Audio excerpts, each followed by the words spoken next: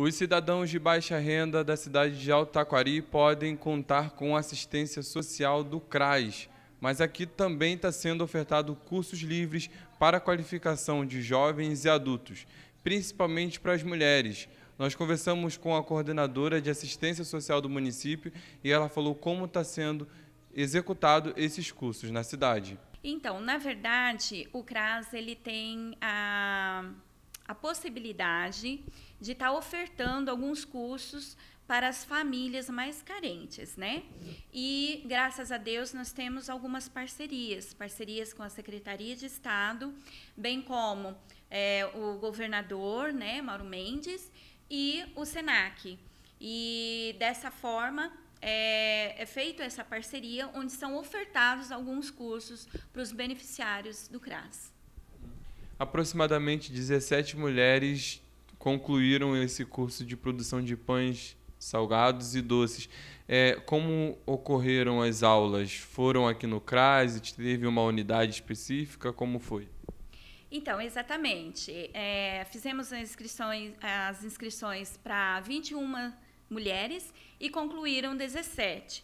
É, foi muito gostoso, é, é, foi bonito ver né, a, um, um empreendimento delas. E sim, foi feito aqui no, no CRAS, né? Nós temos um espaço bom e elas produziram aqui vários pães, é, vários pães doces, né? E salgados também.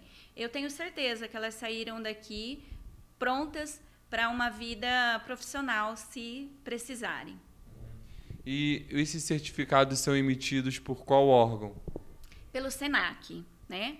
É, aí, lógico, vem é, a pessoa né, do SENAC e passa esse, esse certificado para cada uma delas, é, obviamente com todos os, os parceiros da... Mas vão ter outros cursos relacionados a essa parte de panificação e confeitaria que serão destinadas às mulheres?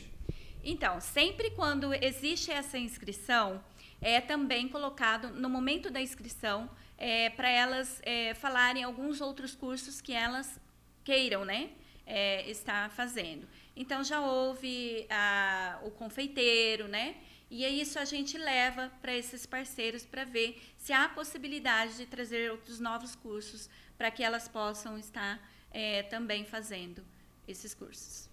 Então, o CRAS tem essa função de dar assistência para as famílias mais carentes, é, com os benefícios dos programas sociais do governo federal e como que vocês têm desenvolvido é, outras atividades relacionadas à formação, assim, formação de cursos com uma carga horária menor, diferente de cursos técnicos e de outros níveis de ensino. Como que vocês Quais são os cursos que vocês estão nesse momento disponibilizando para as mulheres ou para as famílias, para os jovens carentes? Sim, é, nós trabalhamos aqui com alguns programas. É, nós temos levado a, em diante o das gestantes, né, onde nós acolhemos as gestantes, damos todos o, do, todo o respaldo para elas, né, é, bordarem, fazerem lembrancinhas para os filhos, elas assistem palestras, né, tanto é, educacional quanto da saúde. É, e isso estende à família toda, né, uma vez que a gente dá esse respaldo para gestantes. Como também nós temos serviço de convivência e fortalecimento de vínculo, que é feito com as crianças né, e adolescentes. Nós começamos também, graças a Deus, e já é, levamos todo esse trabalho é, com vínculo também familiar, que é o PAIF. Né? Então, nós temos todo esse respaldo aqui no CRAS. Nesse momento, vocês estão executando o curso de Libras. A senhora poderia falar um pouco sobre é, esse momento de ensino que as pessoas estão tendo com o curso de Libras? Isso. Também temos é, essa oferta com a mesma parceria, Secretaria de Estado, é, com o governador e o SENAC. E está acontecendo o curso de Libras, né? Também uma turma, é, um montante de 21 pessoas. Vamos ver quantos né, conseguem chegar até o final é, para receberem o certificado. Também tem sido de muito, é, muita procura. É, tivemos a, até algumas inscrições reservas, né? É, porque sempre há possibilidade de, deles entrarem aquele que desistir. E graças a Deus ninguém desistiu. É, vamos ver até o final quem vai ficar para receber o certificado. A senhora, como uma das responsáveis aqui do CRAS, como que a senhora vê essa, esse momento de formação, essa, a importância da formação para que o cidadão né, de baixa renda possa pleitear uma oportunidade no mercado de trabalho? Olha, é gratificante, né? Ver é, as pessoas tendo interesse, né?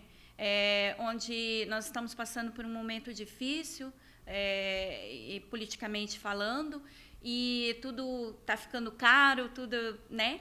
E elas estão tendo essa oportunidade aqui conosco de poder é, conseguir com isso se profissionalizar, né? São cursos profissionalizantes, são cursos que é, é, é muito sério e eles, elas estão tendo muito interesse. Eu falo elas porque a maioria são mulheres, né, que vêm à procura, mas está aberto para toda a população, tanto homens também que quiser, né, almeja ter uma, uma profissão, pode estar vindo nos procurando quando nós ofertamos esses cursos.